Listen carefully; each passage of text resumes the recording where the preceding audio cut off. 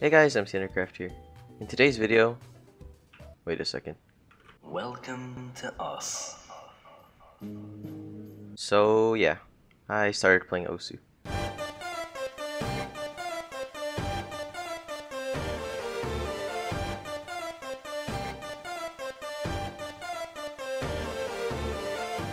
So around 3 months ago, I posted a Skyblock video making fun of all the loot I got from that first fishing festival.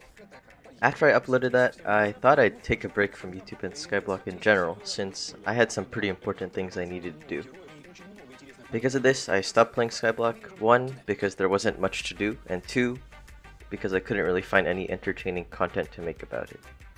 A few days later, while I was in a Discord call, one of my IRL friends introduced me and all my friends to the game Osu. Side note, I know the game's technically called OS, but I, I just call it Osu. Anyways, I downloaded it for fun, opened the game up, and then my computer crashed. Like four times. At this time, I had a pretty bad memory card, and the game just kept on crashing for some reason whenever I tried to open it. So I ended up just uninstalling the game and moved on from it. But since you can probably read the title, and since you already clicked on the video, you can probably guess that I did end up re-downloading the game, literally a few hours later, after I troubleshooted some things, and I began starting to play with friends. After a few hours of learning the basics of the game and trying to click circles at the correct times, I realized that I actually really enjoyed the game. I downloaded some songs from Pokemon, Undertale, and also downloaded some of my favorite anime openings and endings, and just started to play them. This game was for some reason fairly easy for me, even though I had never played a rhythm game before this. As I played more during the next few days, I was able to fully combo 3 star maps after only a day of playing and was able to pass a few 4 stars after only 2 days of playing. However, I was still pretty bad and had kind of low accuracy, but something happened down the line and for some reason I started to consistently get accuracy in the 90s. Now I played Osu whenever I had any extra free time and I slowly improved the more I played. I learned how to read notes better, single tap faster, and aim more consistently, and I was slowly climbing in rank. I knew that the majority of the player base played with a drawing tablet and pen, but one, I didn't have a tablet, and two, I prefer to play with a mouse, so all of the gameplay you're seeing is all done with mouse and keyboard, since that's been the way I play Osu. As I played more, I began to watch more and more Osu YouTubers, and I eventually ended up joining an Osu Discord to ask some of the questions I had, since I couldn't find them anywhere else. One conversation arose which ended up with me linking my profile, and then one person told me, wow, no Harumachi Clover. Curious, I asked, what Harumachi Clover? All of them told me that I didn't want to know, but I was already opening up Google. After a quick search, I learned why they told me not to look it up. I had uncovered something that all Osu players eventually come across while they're playing Osu. PP farming. PP or performance points if you didn't know is basically how you are ranked in Osu. Simply put, harder maps equal more PP, and the more PP you have, the higher rank. And the higher the rank, the cooler you are. After learning about this method of quickly ranking up, I did some more research and found out that this easy way of ranking up was actually something highly discouraged, as it greatly lowered your accuracy and made you perform worse when you played other maps other than PP farm maps. However, moments after learning about this huge downside, I found myself downloading some PP farm beat maps and I played a few. They were completely different from normal maps, but as the name suggests, I moved up way more ranks than usual after I completed them.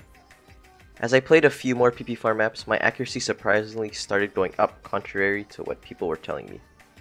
Additionally, when I took a break and played non-PP farm maps, I was actually able to perform way better than I did before, and because of this I slowly kept improving. Somewhere along the road, I had made a goal to myself. I wanted to try and get 5 digit on Osu.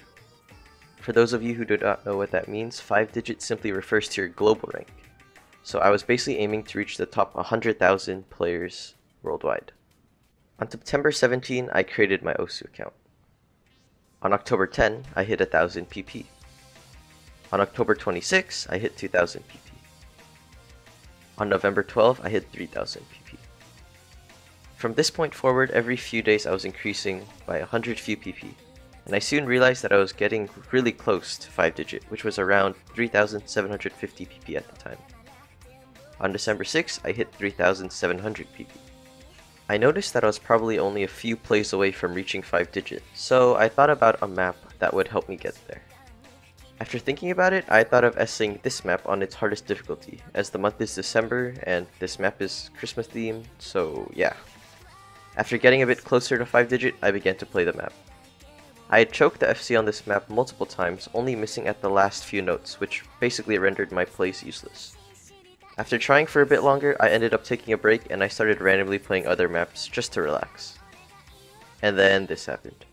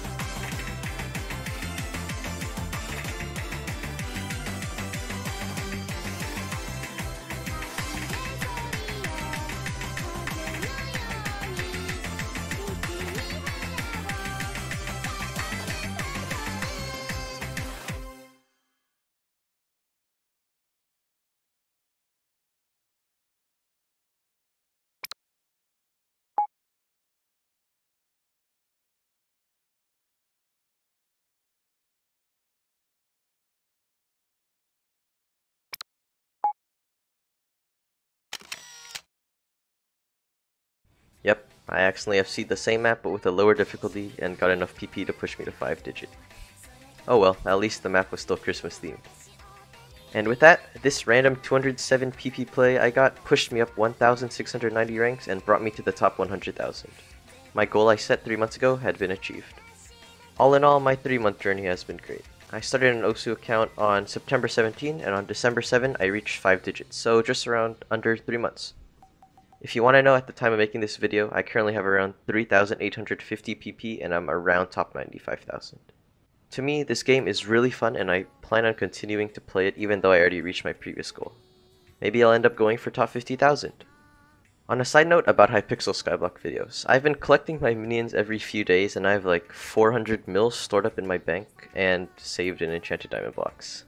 I haven't played any of the new content released for the past few months, so maybe I'll end up making some videos about that. Who knows. Anyway, thank you very much for watching this video. I know it's completely different from all of my other videos on my channel, but I thought I'd share what I've been up to lately. If you enjoy Osu content and want more, uh, let me know by hitting the like button. This is the second time I'm uploading a different game other than Minecraft to my channel, so I'm just wondering how you guys are going to react to this video. Anyways, that's basically it. Oh, I forgot to do that thing that literally every single YouTuber does right now. Alright, if you didn't know, around...